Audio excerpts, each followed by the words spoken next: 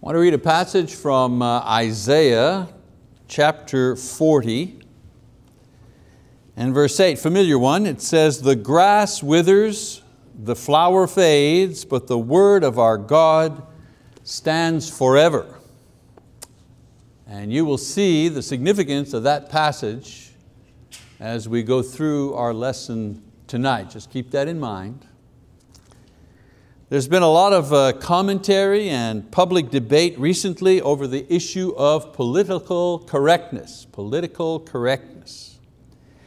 You may not be able to define this term, but I'm sure you have heard about or have been affected by its influence.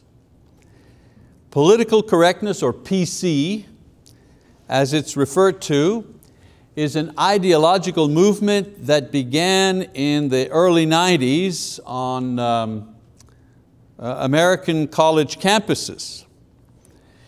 It's uh, hard to define, but basically, basically it's an attempt to solve the problems of intolerance and bigotry in this country. That's, you know, that's the definition. Political correctness is an attempt to solve the problems of intolerance and bigotry in this country. That's what people say about it. The problem is that in an attempt to solve these problems, the PC movement has become a problem in itself. So in my lesson this evening, I'd like to review the background of this ideology and propose a Christian solution to the problems that the PC movement is trying to resolve. So a man, a writer, a blogger actually, uh, named John Millimore writes that uh, in the November 16th issue of the uh, Claremont Review of Books, a professor, uh, his name is uh, Angelo Codevilla, he wrote a very interesting article about the rise of political correctness in America. Um, professor Codevilla is a professor emeritus of international relations at Boston University. He wrote that the notion of political correctness came into use among communists in the 1930s as a semi-humorous reminder that the party, meaning the Communist Party, the Communist Party's interest was to be treated as a reality that ranks above reality itself. Stay with me here. The inside joke among party members at that time went something like this. Comrade, one would say, your statement is factually incorrect. However, it is politically correct. That's where that term initiated. This little joke, this little inside joke, was a vital reminder to Stalin's party members that to stray from the Communist Party line could mean death. So whether or not something was true mattered less than whether or not it advanced the Communist Party's ideology, or in other words, unless it was politically correct. And so the term to be politically correct was be, meant correct according to the party doctrine. Never mind the truth, never mind reality, reality was what the party said it was. Their reality was politically correct. So this term and approach has been appropriated by the politically progressive movement here in the United States and elsewhere in order to move their agenda forward. Political correctness is not a goal. It is not an end result, as many think. It is a means to an end. Political correctness is a strategy the PC movement has a basic goal, and that is to fix what they believe is a broken society here in the United States. And if they seize control of that society, they will repair what is broken. The main faults, according to PC ideology, the main faults of this nation, according to them, are the following. The first is racism. And according to them, racism perpetrated mainly by white people. Secondly, sexism. And sexism perpetrated mainly by men. And thirdly, oppression. And oppression perpetrated mainly by America because its accomplishment and laws and traditions were simply a history and a product of racism, sexism, and oppression of the poor, and most recently added to that category, and immigrants. Of course, no one can deny that these problems do exist in this vast country of over 300 million people, but the PC movement believes that these are not simply problems that any society has, but rather that racism and sexism and oppression of the poor are the basis of American thinking and political policy. And their solution to this problem involves a complete change in the way that Americans think and relate to each other. And so the PC strategy has three avenues that will lead them to their goal. And the goal is control. Political correctness is a strategy in order to gain control. So what are the three avenues? Well, first, promote universal multiculturalism. In other words, PC believe that American history and culture is way too concentrated in European white history and literature. In PC thinking, re-education requires equal time for every culture represented in America today so that in the classroom students should spend equal amounts of time and resources studying uh, George Washington, a white male European descendant, spend as much time studying about him as they study the poetry of Maya Angelou, who is a black female former poet laureate. So as much time in the classrooms you know, studying the poetry of Maya Angelou as uh, students study the life and times of George Washington. PC ideology would do away with the melting pot idea that when you come to America, you shed your past and you embrace the values of the USA set forth in the Constitution and the traditions of this country. In other words, you become an American. Instead, each culture would promote and develop its own ideas, its own history and traditions, and America would no longer be a melting pot, but would become a quilt of many colors. So you would have African American and Euro American and Native American, Hispanic American, you know, always with the hyphen. Actually, this is the political philosophy of Canada. Nothing new here, and I can tell you what that has led to, having come from Canada. Second Avenue, reinvent language and law. In other words, change the language and the laws so that they will eliminate any form of racism or perceived sexism or harassment. Well, what would that mean? Well, freshmen are now called fresh persons.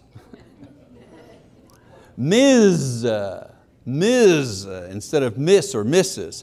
Eliminate references to God as Father in the Bible. That's sexism. Some companies forbid employees from having uh, uh, uh, or reading a Bible at work because this would be religious harassment to those who do not believe. And of course, the support of gay rights and abortion rights because not to do so would be sexist or racist because everyone has a right to pursue their own orientation, whatever they believe that to be. And the government is there to support that and anyone who is against that is a bigot or a sexist. Now there are more examples than time, but many efforts to outlaw prayer, for example, or to initiate quotas, or even suppress di displays of uh, patriotism is part of the strategy. Good example, University of Maryland officials uh, at the time did not want students to fly the American flag during the Gulf War because of protest of the PC advocates because they claimed that the flag was a symbol of American racism, oppression, and sexism. And these efforts to change the law and to change how we speak and how we relate to each other are largely done through the influence of this movement that began in the 90s. And then the third, the third avenue, the redistribution of wealth. A basic concept of the PC movement is that America systematically oppresses its poor. And for this reason, a redistribution of wealth is necessary. This is why in PC terminology, a person is not poor, oh no. That's a degrading term. A person is economically exploited. Ah, yes. A person is economically disadvantaged. New language. PC movement goes beyond a simple concept of the haves sharing with the have-nots. They want government to guarantee that the wealth and whoever has it is evenly distributed among everyone. Now, the battleground for these ideas are the college campuses because that's where the future writers and business leaders and politicians and social engineers will come from. And the influence of this movement is felt not only on campuses, but in larger society and government as well. Note the support of gay and abortion rights by the previous, uh, the previous administration in this country. Mr. Obama, he was the absolute poster boy for the PC movement. He embraced all of this you know, with enthusiasm, if you didn't realize that. Note that, remember Donna Shalala? Remember her? She was the former Secretary of Health and Human Services. She was considered one of the leading exponents of the PC movements while she was the chancellor of the University of Wisconsin. She was plucked out of there and put in charge of a large bureaucracy. So with all of this happening around us, how do we as Christians respond to this newest social and political wave? Let me suggest two very practical and effective responses that Christians can offer to the people and the influence of political correctness in our generation. So what will it be, like the title of the sermon says, you know, political correctness or Bible correctness? Well, number one, understand the motivation behind the movement. Don't get mad just because of what you hear on TV. You know, sometimes I get so upset, I just turn it off, switch the channels. This ideology and the changes that it is causing in our society stems from the frustration that some people feel in dealing with social problems that don't seem to be getting better. I mean, let's face it, discrimination does exist in this country, where a person is excluded from opportunity and respect based simply on their color or their culture or their physical and intellectual limitations. Uh, we cannot deny that that exists in this country. And oppression, of course. Oppression does exist where the haves use their wealth only in the service of gaining more wealth without regard for others and their needs. Does that exist in the USA? Absolutely. But I don't believe, like the PC movement does, that this country was founded with the purpose of perpetuating racism and oppression. I don't believe that. However, the economic success, you know, the, the, the country was based on the idea that the economic success by, should be had by all kinds of people, not just white males that we should have political and religious freedom in this country. That the, uh, uh, the amount of foreign aid that we give in comparison to others is quite generous. And not to mention the cost of American lives to defend other nations and their freedoms. All of those things tells me that this country was founded on the principle of liberty and justice for all people not just white Anglo-Saxon males. The ideals of the founding fathers may have not been reached and the PC movement may be correct in pointing that out and we need to understand this. But to say that the original goal was to produce the evils of racism and oppression, that is to be guilty of the very thing that they condemn, and that is intolerance and hatred. what was interesting is the big march. You know, after Mr. Trump was inaugurated, you know, took the oath of office, remember that big march that happened the next day, that protest march? I said a million people, the women were marching and, and we were showing solidarity and blah, blah, blah, blah, blah, blah, blah. And, and, but who was not allowed to march in that march? yeah, men. Uh, you know who else wasn't allowed to march? Pro-life people, they were not allowed to march. They were not permitted to march. Christians who openly acknowledged that they wanted to march, you know, to say to the nation, Christianity is about love, Christianity is against racism, Christianity is against, they were not allowed to march. The problem with the PC movement is that it is an overreaction to a real problem and in doing so, it makes the same problem worse. The other thing that I might point out to you,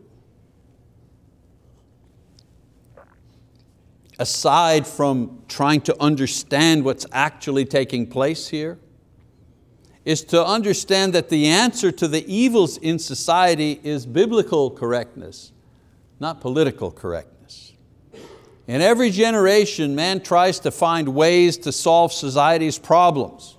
There are breakthroughs in science and there are breakthroughs in social engineering and there are all kinds of uh, philosophical ideas that come and go one generation after uh, another and the political correctness movement is just one more of these that are going by. But the way to deal with evil is to confront it with the truth of the scriptures and remain steadfast that with truth and that truth, whether it seems politically correct or not, remains the truth, one generation after another. You know, the, the advocates of the PC movement are merely trying to establish their own standard in order to measure what is correct and right. The mistake with this is that they are trying to take the place of the Bible as the basic standard for what is right and for what is good. The Bible is the standard for what is right and what is good. In John chapter 12, verse 48, we read, He, Jesus says, He who rejects me and does not receive my sayings has one who judges him. The word I spoke is what will judge him at the last day. We use that passage obviously to, to encourage people to respond to the gospel, of course. But in this passage, Jesus is also saying, the word I spoke to you, this is what judges. Not only you personally, but this is what judges what is right, what is good, what is proper. The word I spoke to you. In another familiar passage, uh, passage 2 Timothy 3.16, Paul says, every scripture is inspired by God and profitable for teaching, for reproof, for correction, for training in righteousness. What is that training? For knowing and doing what is right. That the man of God may be adequate, equipped for every good work. Equipped meaning we don't need another philosophy to tell us and to explain to us what is right, what is good, what is proper, what is moral. We have it already.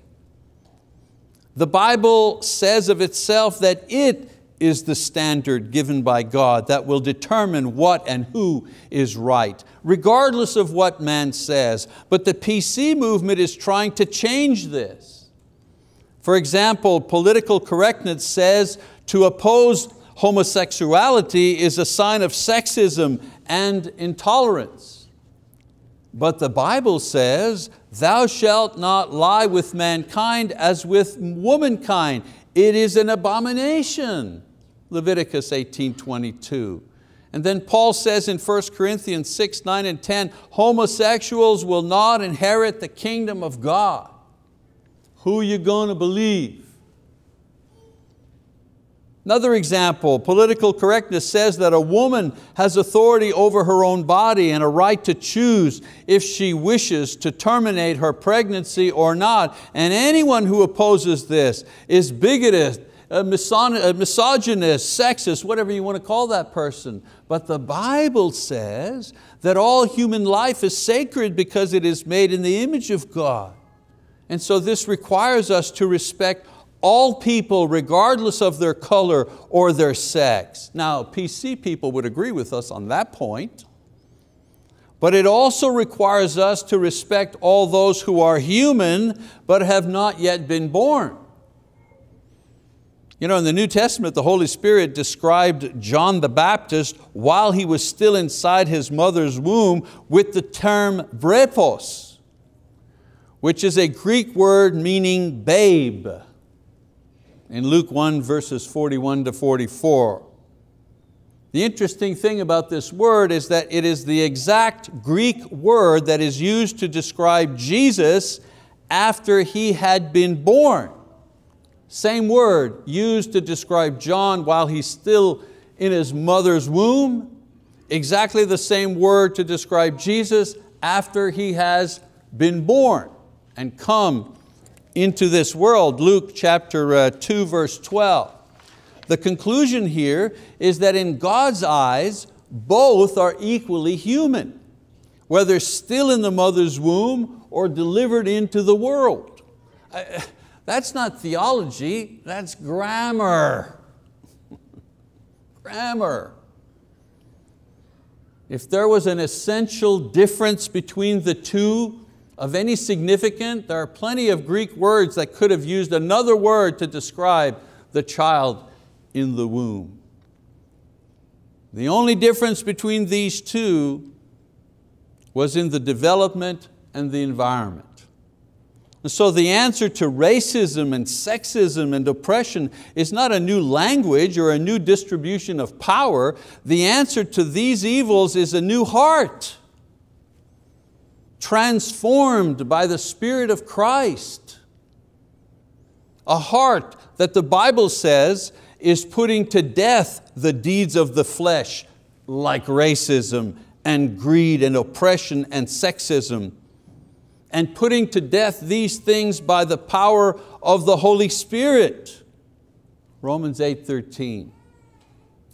Not being put away by the power of a political movement a heart that the Bible says is free from all bitterness and wrath, anger, clamor, slander, along with all malice, a heart that is kind to others, tender and forgiving. Ephesians chapter 4, verse 30 and 31. I ask you a question. Was this the heart that was being demonstrated as the PC movement people were uh, uh, uh, riding in the streets and destroying property and smashing cars and beating people up and cursing? Is that the heart? Jesus says from the heart you know, comes what you say. What you say and what you do, it comes from the heart. You can tell the tree by its fruit. Well, if the fruit of the tree is rioting and discard of the rule of law and oppression, is this a movement we, we ought to adapt to in this country? Political correctness has produced a new language and a lot of debate that hasn't really solved the problems that it identifies. Biblical correctness, on the other hand, produces a new heart, which bears the fruit of true personal change, love and joy and peace and patience and kindness and faithfulness and self-control, which ultimately works to change society for the better. You know, 30 years ago, the issue that I might have been preaching about was the issue of the New Age movement. Remember them, the New Age movement? And my point back then would have been, you know, stick with the New Testament. Because the New Age movement would ultimately be old news and fade away. Today, the buzzword is politically correct, and the message now is to stick to what is biblically correct, because with time, political correctness will show its errors, and it too will fade into the closet of social issues and fads. Do, do you see a trend here? Ideas come and they go. Fads, they appear and they disappear. Movements, they rise and they fall. Now remember I told you to keep in mind the scripture? But the word of the Lord is forever. And happy are those who are faithful to it generation after generation. One last point I want to make, and that is how political correctness is affecting religion. It is now politically incorrect to claim that someone may be lost because of sin. Why? Well, because there is no sin, just the results of racism, sexism, and oppression. It's also politically incorrect to suggest that one may be lost or mistaken in their religion because along with universal multiculturalism, there comes the idea of universal salvation. In other words, according to the PC movement, every religion is okay and every religion accomplishes man's salvation. Well, I mean, I'd take another sermon to respond to that claim. Suffice to say that if all religions are exactly the same, then none of them are worth anything. If you say otherwise to them, that there's only one God, one salvation, it is to be religiously intolerant and legalistic.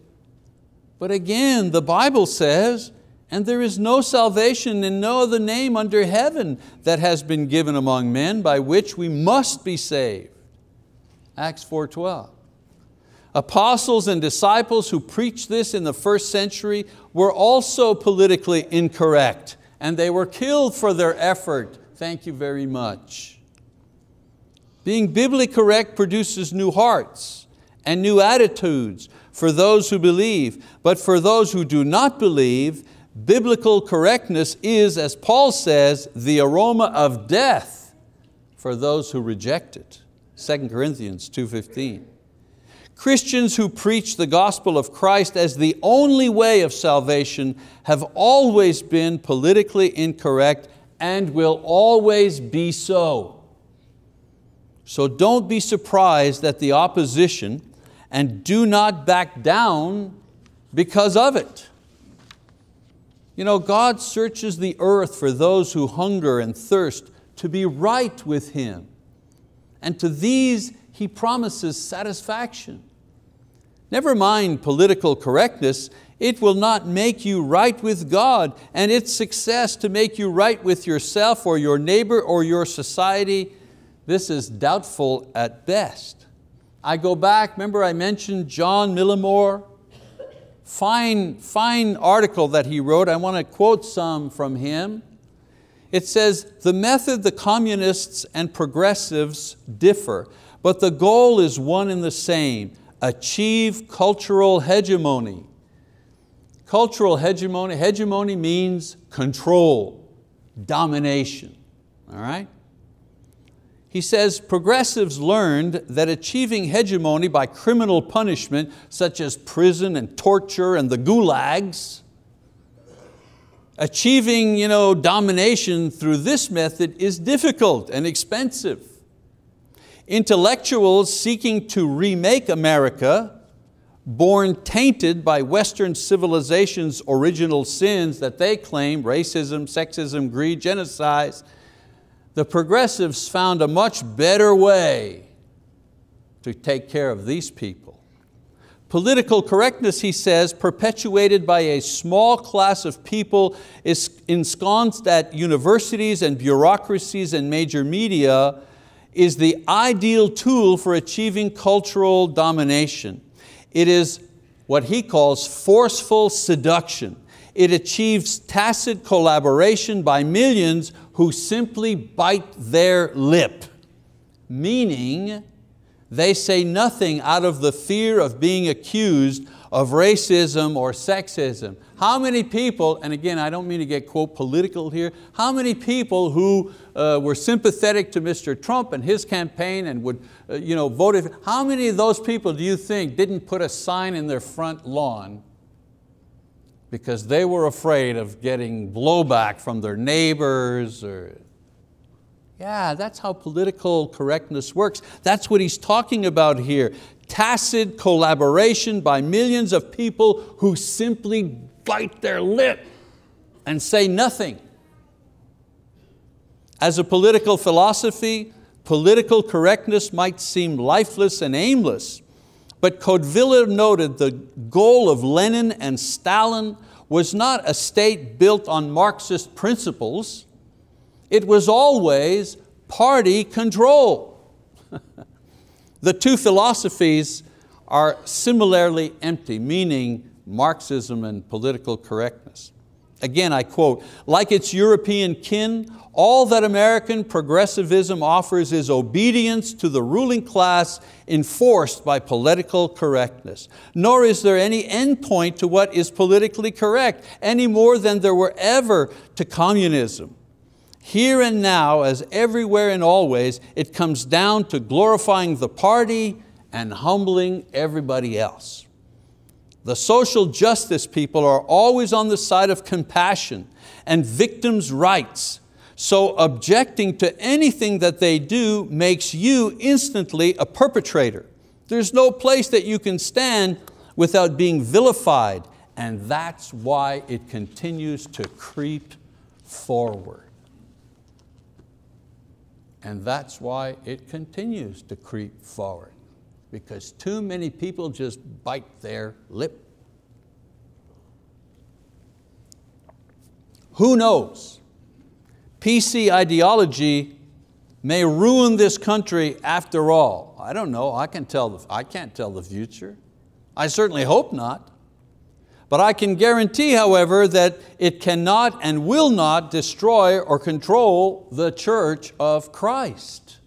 That I know.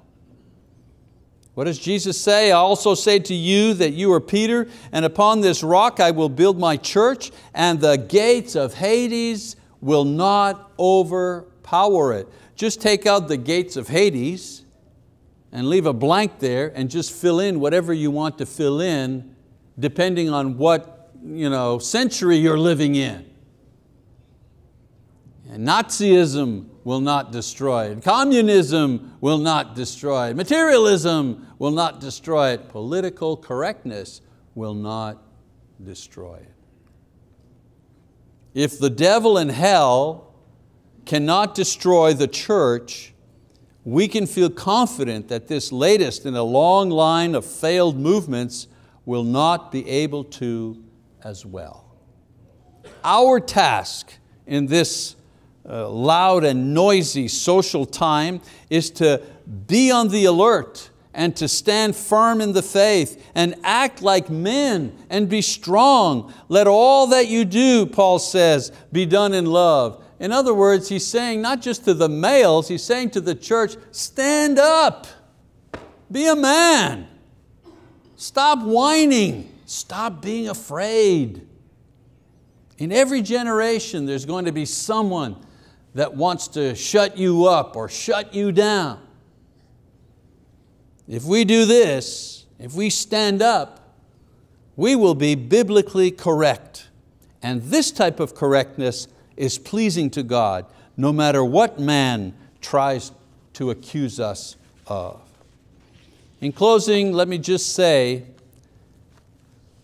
that if we are not correct with God, because this whole lesson was about replacing political correctness with biblical correctness, and I've been assuming that we're all correct with God, we're okay with Him. But in the event that someone may not be correct with God, well then there is a change that is necessary. Whether the change is from you know, disbelief and disobedience to faith and obedience through repentance and baptism, if, if that's the change that is required, don't be afraid to do that because that is biblically correct. Or perhaps the change is a necessary change in direction or a change in commitment expressed in a desire to be restored through the uh, prayers of the church. That impulse, that also, you can act on that impulse because that's biblically correct, as well. So John, I'm going to ask you to get your uh, song ready and I encourage anyone uh, that requires to be correct or right with God, whether it be through conversion and baptism or through the prayers of the church. The elders are here tonight ready to pray for you and take your good confession of faith. Whatever type of ministry you might need, please come now as we stand and as we sing our song of encouragement.